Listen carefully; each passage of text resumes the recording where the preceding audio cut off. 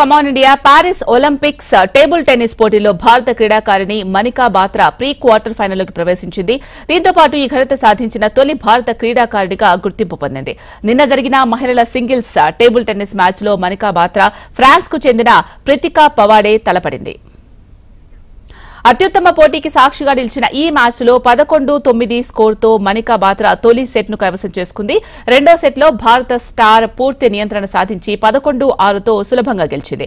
మూడో సెట్లో ప్రీతికా పవాడే నుంచి మంచి పోరాటం జరిగింది. అయితే పదకొండు తొమ్మిది స్కోర్తో మణిక సెట్ను కైవసం చేసుకుంది. అలాగే చివరి సెట్లో ప్రీతికా ఏడు పాయింట్లు సాధించగా బాత్రా పదకొండు పాయింట్లు సాధించి విజయం సాధించింది. దీంతో మణికా బాత్రా నాలుగు సున్నాతో విజయం సాధించి ప్రీ క్వార్టర్ ఫైనల్ రౌండ్లోకి ప్రవేశించింది. పారిస్ ఒలింపిక్స్ మహిళల సింగిల్స్ టేబుల్ టెన్నిస్లో భారత star player Manika Batra round పదహారులోకి దూసుకెళ్ళింది.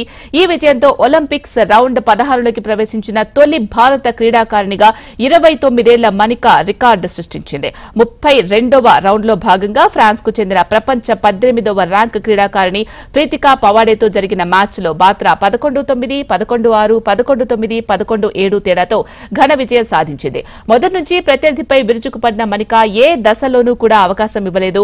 ఒక్క సెట్ కూడా కోల్పోకుండా నాలుగు సున్నా తేడాతో ఫ్రాన్స్ క్రీడాకారిణిని చిత్తు చేసిందనే చెప్పుకోవచ్చు. ప్రస్తుతం ప్రపంచ ఇరవై ఎనిమిదవ ర్యాంకులో ఉన్న బాత్రా ప్రీ క్వార్టర్ ఫైనల్లో ఎనిమిదో సీడ్ మియూ హిరానో లేదా జూ సెంగ్జూతో తలపడనుంది.